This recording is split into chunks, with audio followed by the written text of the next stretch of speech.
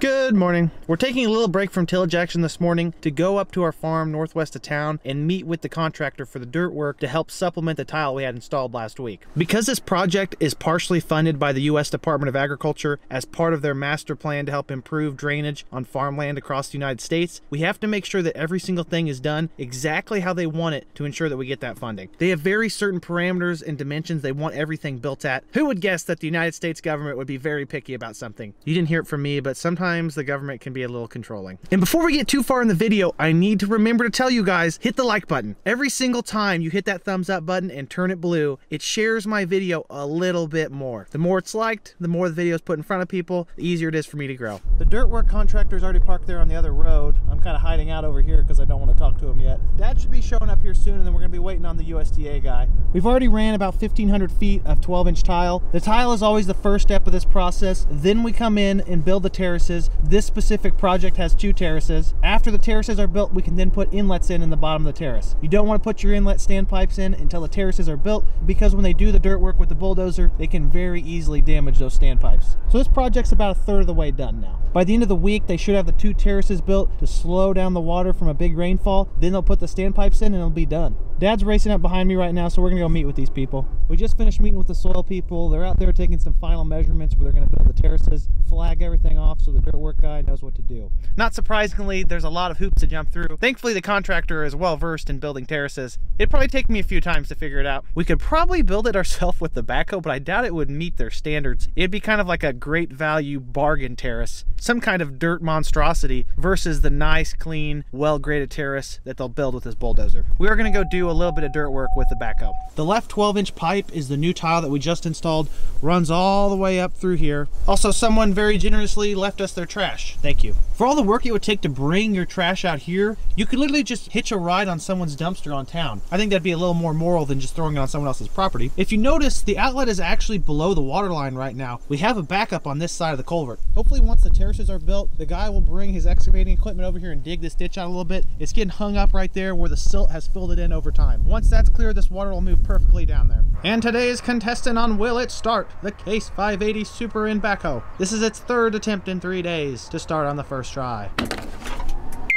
They chose the most horrific sound possible. Really makes you look forward to turning the key on. Come on, you can do it. Here's my attempt. Oh! And it shocks the world! It starts on the first try! The crowd goes wild! Woo!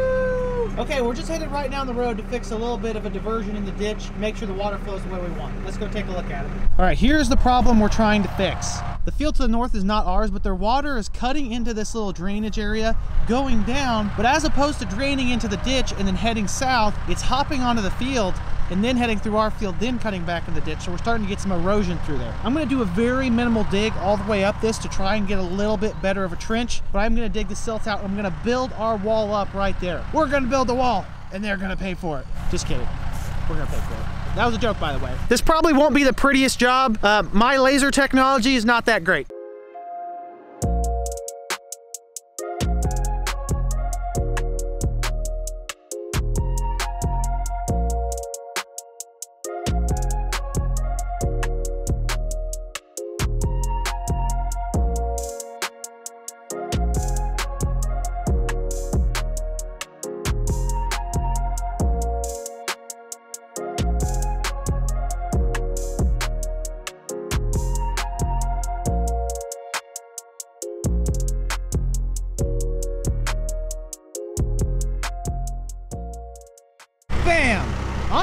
Pretty proud of how it turned out considering I dug that with my eyesight alone. Obviously, it's not perfect, but when you're working with Mother Nature, really it's more of a negotiation that you don't have much weight in. I'm trying to convince all the water that runs through here to head towards the ditch as opposed to hopping over the field. The easiest incentive to get about anything in this world where you want to go is gravity. By the time we get a few rainfalls, the roughness will be pretty much gone. The water will determine what the best path is, and I'm really optimistic that it's gonna go towards the ditch. Ideally on a project like this, you'd really like to have one of those powered ditchers. It would be able to come in here and just cut a perfect groove and throw the dirt back into the field. We don't have one of those to use, although they are pretty neat, so I just had to make use of the backhoe. Not the best, but it worked. I am still slightly concerned about this spot. That was one of the original places where the water was hopping over. I'm not quite sure I had enough dirt in there. I've definitely got a good enough grade to get the water to come down here, but if it gets backed up in this ditch or down the way, it very easily could just hop over that and go to the field. Water is extremely powerful and it's gonna go whatever route it thinks is easiest. We're about 150 to 200 yards downstream from the problem we just fixed, and you can see a secondary issue that's created is another wash out into the ditch that has filled the ditch in quite a bit. What we're gonna do here is dip out the bottom of that ditch, build up the sides of the ditch a little bit, and then we'll take whatever's left and build this diversion up. That is very satisfying. Got the water moving where it's supposed to be going. Really, the whole ditch needs dug out, but I'm not that energetic. And for the most part, I may have actually made a bigger mess than the problem I was trying to solve. When you're around farm ground that recently had anhydrous ammonia applied, maybe within the last week or two, you really want to avoid turning the soil over at all. I'm trying to be really careful with the backhoe to stay in the ditch, not drive a ton and put my clamps down.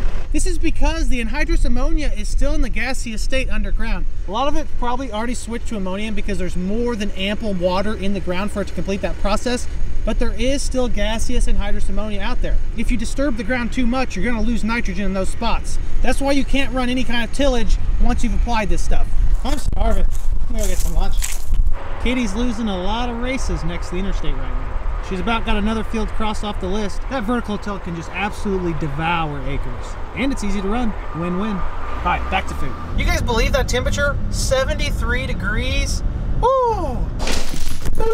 They like me because I bribed them. Roll. That's it. And that's just for being cute. And here's your cute tags.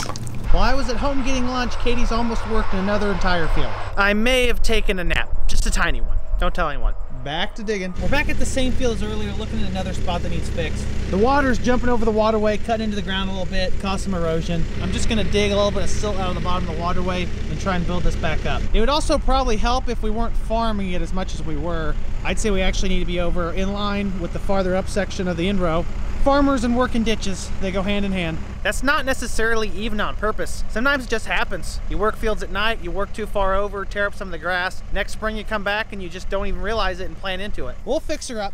Uh, you all right? You look a little barren. Wonder what kind of animal that came off of. There's a hint. There's a bone of some kind. Nature sure is cruel sometimes. Eh, this one's a little bit more abstract than the other ones. Scraped a little bit of dirt out of the bottom there built the wall up. Probably the ugliest one I've done so far. But by all means, I'll be here all day if you guys want some backhoe lessons. All right, last project of this field. There's a berm in between the big drainage ditch here and a culvert here to keep the water from going down and creating a big gully. But it seems that over time, it's silted in, as everything has. As water moves across the field, it picks up soil particles. When it slows down in an area like this, it drops the soil particles off. That's also part of the reason these filter strips exist. This grass is really good at slowing water down. I'm not even really sure what to do here. I guess I'm just gonna dig in that area. Is that a mushroom? Huge mushroom. Is this one of those ones that if you eat it, makes you feel funky? It doesn't even feel real frisbee mushroom. Okay, that's a frisbee mushroom. The more time I spend in the backhoe, the worse I think my product is getting. I'm kind of shooting all these from the hip though. I'm not really sure exactly what I need to do. All this dirt is like a really fine, silty material.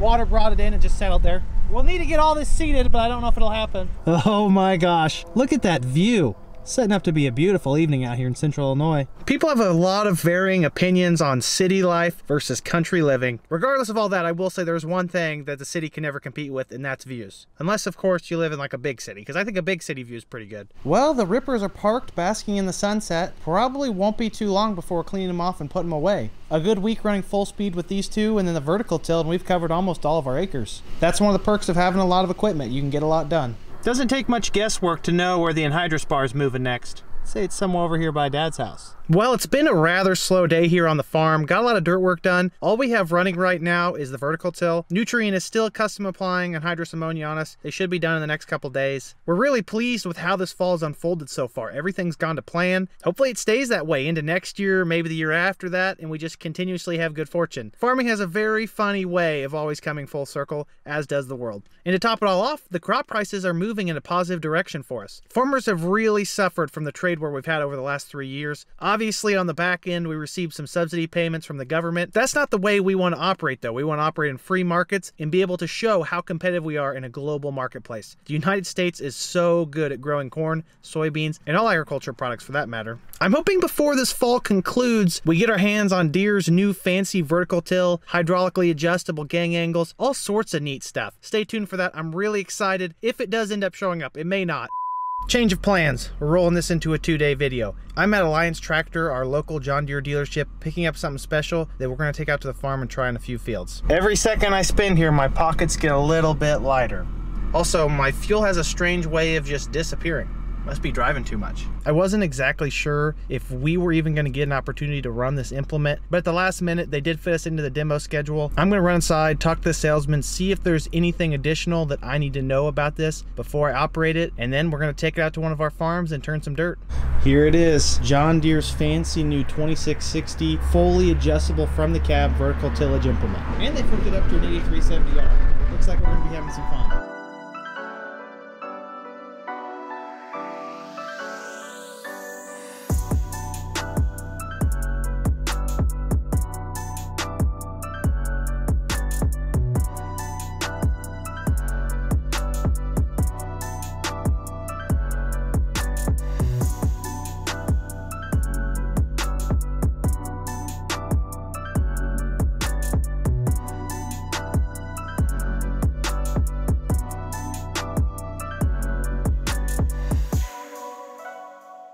This thing's definitely already seen some action out here this fall. It was assembled within the last week, but they've already had it to a few customers. Very similar to our Landoll vertical till, but also very different. I've heard a lot of good things. I'm excited to try this out. That's enough chatter. Let's see what this thing's all about.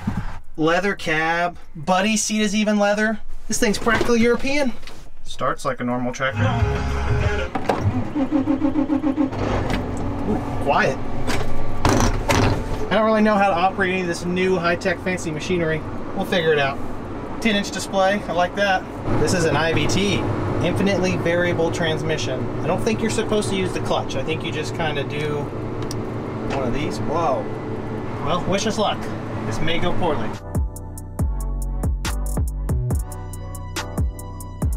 Holy cow, this thing's fast. It's a racehorse. Also, this cab is so quiet and the ride is very smooth. I noticed that it does have independent front suspension, which probably has to do with why it's driving on cloud right now.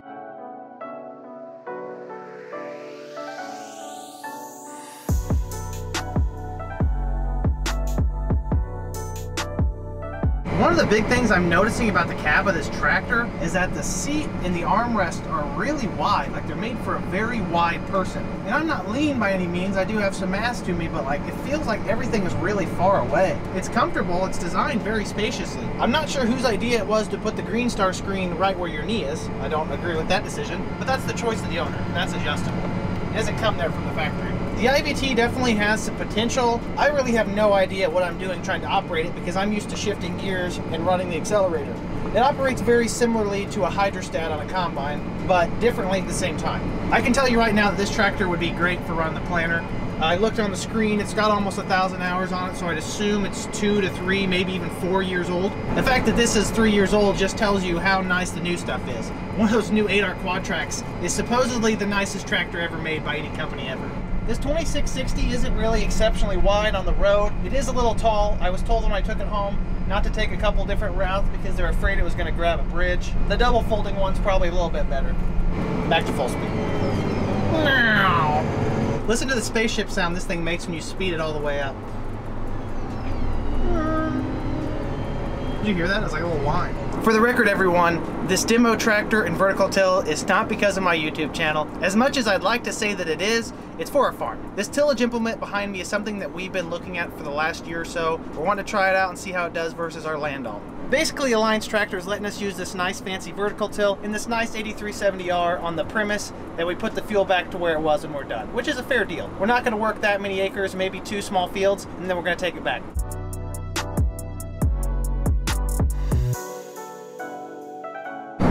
Let's unfold this thing. Assume one is up and down, two has got to be unfold. That's standard in farming is you put unfold on two. My first thought is, is this is an extremely well-built rig. a lot of very solid pieces of iron on this thing. Okay, three is moving the gang angles. That's one of the big selling points of this machine is you can adjust the gang angles from the cab. You go anywhere from 12 to zero degrees. So if you have different tillage applications you're trying to use this disc on, you change it to what you want. I think our vertical till is around 10. We're gonna run this at 12 and see how it does.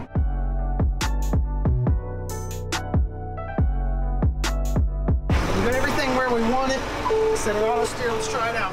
Finally got this machine figured out. This is pretty high tech. So one, this is the first tractor I've ever ran with an IVT. I'm trying to get it dialed in exactly where I want it. It's a lot different than just a standard gear shifter. So this is the first tillage implement we've ever run that runs John Deere's TrueSet tillage. It's very simple, but I had to make a phone call to the salesman to figure it out because honestly, I've never ran something like this. Once you detent the number one hydraulics and you put the disc in the ground, every single thing can be adjusted from this screen right here. I can set the depth, we're running four inches right now, gang angle 12 degrees, basket 450 pounds of downforce, fore and aft, which is the tilt I have set on three, and the wing downforce, which is the downforce that the wings have on their hydraulics, it's set to 175 pounds. I just realized that I've worked all this without even being in four-wheel drive. Now that I got that figured out, it's pulling a lot better. I'm gonna give you guys a live display of how convenient this system is. So we have the disc set at three inches in the ground. I'm gonna put it in the ground from this, and you're going to hear the tractor pull harder as it goes down. We're gonna bump it into the ground. Let's do six, five to six. You can see the tractor's pulling down because this is adjusting just from my clicks on this monitor. I'm gonna get some time behind the wheel on this tractor, play with the gang angles, see all the things it can do. I'll get back to you guys with my report.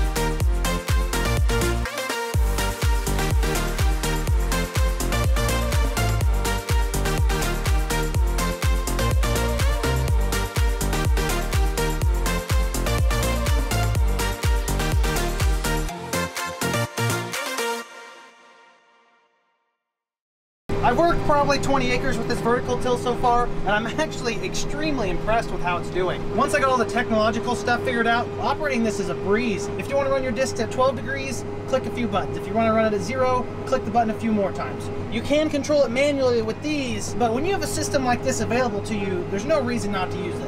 Now, I've never actually ran a TrueSet tillage device for Deere, so I may be a little bit biased or sound a little bit excited, and that's partially just because this is new technology to me and I'm slightly a nerd. I thought it's very neat that you can control everything from the computer.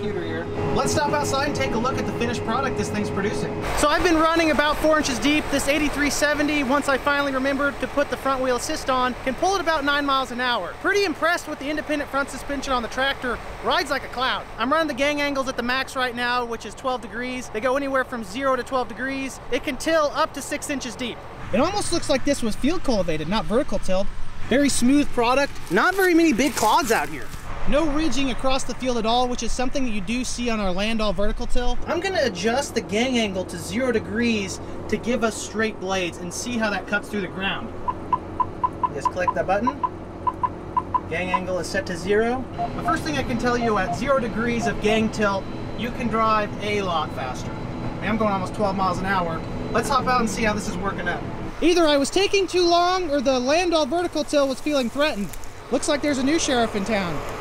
There's a very distinct difference between the gang angles. Here's 12 degrees, here's zero degrees. We're moving a lot less dirt at zero degrees, but we are cutting up what's on top of the ground pretty significantly. This is chopped up and gives you a lot of good ground cover, whereas at a bigger gang angle, you're flipping over a lot more soil. There is probably some scenario where you can actually substitute a field cultivator for a vertical till like this. At the price point that this thing is, it may be justified to go from a ripper and a field cultivator to just one big vertical till. This rug was clean when I got in this tractor earlier. I feel kind of bad. I've been in and out so many times. I got all this nice light dirt. When they sent the vertical till, it definitely came from north of town because it was covered in black dirt.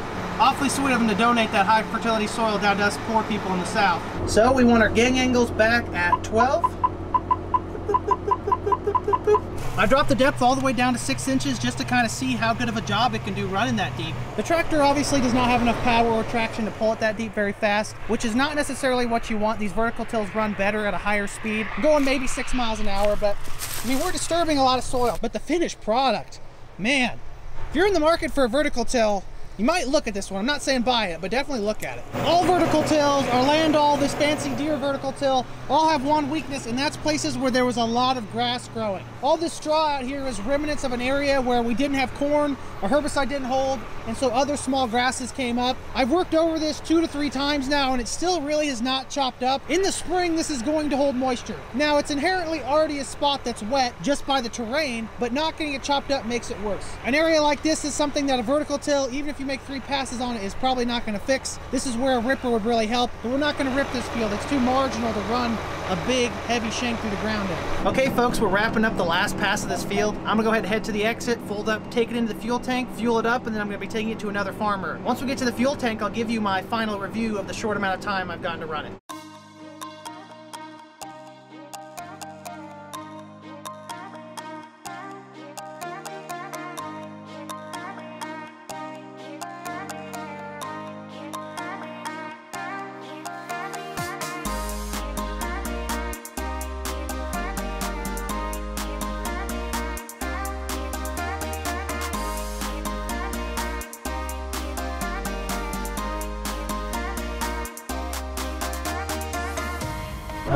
Right, we made it to the fuel barrel, and there's a beautiful sunset in the background. We're about one bar over half, and now we're about two under half. So I think I'm gonna give it about 30 gallons. Actually, I probably should get this off the hill so it's more accurate. 474. We're gonna try to get 30 gallons and see where we're at. I really doubt I burnt 30 gallons of fuel. Really, this is a pretty good deal for us to be able to try this equipment out. These demo programs that Deere dealerships offer to their customers are very enticing. Only having to pay for fuel is a pretty sweet deal. And we get to try out this new piece of equipment. Once I get some fuel in it, I'll give you a final opinion. That's 26 gallons of fuel. Oh no, I gave them too much fuel. As if Mother Deere doesn't already take enough from us. We're still money ahead. Not that this is a money-making process, but it didn't cost us anything to run this because running our own vertical till cost us a lot more money. Oh! Let this serve as my proof that I replenished everything that I took from the tractor. And we donated some of our own light dirt for the next farmer. Let's talk a little bit about this John Deere 2660 vertical till before it leaves our farm. The first thing I want to make known is that I did not run this on enough acres to really get a feel for all of its positives and negatives. For someone to really have a grasp of what this tillage device is capable of and what holds it back, you would need to run it over a couple hundred acres of diverse soils and diverse conditions. That would give you a much wider understanding of this implement. In our operation, this is competing against our Landoll 7431 vertical till. The overall goal of the Landoll in this Deere vertical till are the same thing. Minimal disturbance that leaves a seed bed that can be planted into the next spring. A lot of farmers are going away from the traditional and conventional deep tillage system that they've used for years for less invasive tools like this. So what is the selling point of this versus other competitive brands, other than the fact that it's a beautiful green and yellow John Deere implement? Out of the gate, that's the first thing you notice. It looks great. In my short time running it, I can tell that Deere's engineers looked at all the problems that their competitors were having and tried to fix them with small solutions on this device. One of the biggest issues you're going to have with a vertical till is ridging in the middle of the disc and unevenness on the outsides of the disc. Also, another problem is that a lot of times the finished product behind the back is not as smooth and as crimped as you'd like. One of the big things Deere did on this, and it seems really small unless you ran one of these, is they put these two discs in the middle. Those two discs run exactly where the gap is in between each side of it. From what I could see, those were almost completely eliminating any ridging behind the implement. There may be other competitive brands that have that. I just know that our Landoll does not have it. Our Landoll is also probably five or six years old now. So this is new technology versus old technology. The second awesome aspect of this vertical till are these incredible rolling baskets on the back. One of the biggest limiting factors for how good of a finished product you have coming out of the back of the disc is the rolling basket's ability to crimp and chop the remaining clods. You guys saw out in the field, this was leaving almost a field cultivator-esque product. In some cases, if you wanted to buy one of these and run it in the spring and the fall and eliminate two pieces of equipment on your farm, you really could. Another really small design that Deere implemented into this that would be very easy to overlook are these guards on the outside. Those guards up there help prevent this disc from throwing the dirt too far for the back disc to grab and bring it back to the middle. All right, those are very fundamental aspects that they changed on this to help set it apart a little bit, but let's talk about the real difference maker. I think the Landoll feels a little threatened.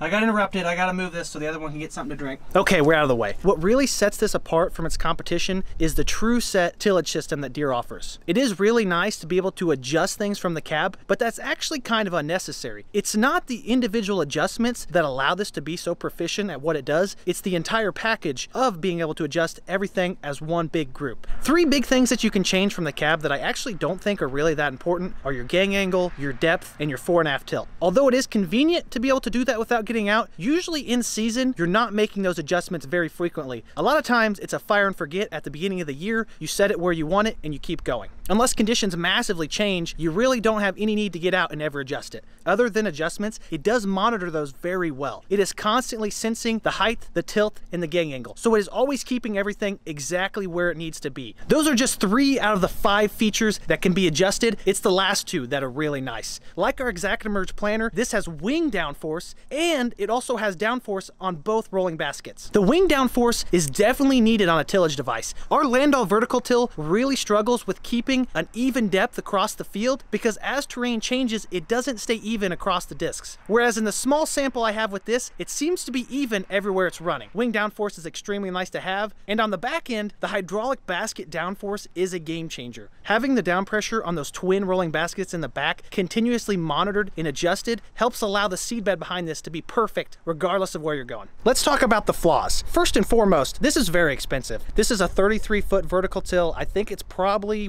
$120,000 if I had to guess outright. That's an extremely expensive piece of iron, but if you're running it over a large amount of acres, it's really not gonna cost you that much. The other very obvious con to this, as with our ExactEmerge planner, is that it's so high tech that its redundancy is probably not that great. I'm not certain, but if a sensor goes bad on this, it may be dead in the water. I'm sure there's a way to manually override it, but for the price, you would always want that TrueSet to be working. The more technologically advanced equipment gets, the more things that can go wrong. Maybe this machine has phenomenal reliability. I didn't run it through enough acres to know. All of that being said, I just want to remind you, I did not put enough acres through this to really tell what the sore spots are. I know just as well as you do that not everything's always sunshine and roses. This 8370 wasn't really the main point of this demo, but I did enjoy running it. I really liked the way the ILS rode pretty smooth, especially compared to our fixed axle 8Rs that we plant with. The IVT would be really nice to have on a planter. I'm not sure it's the best for a tillage implement though. Again, this all comes down to what kind of money you're wanting to spend on equipment. As I mentioned earlier, this is a very pricey rig. We're talking 30 to 40, maybe even $50,000 difference, more than what this Landoll would cost brand new.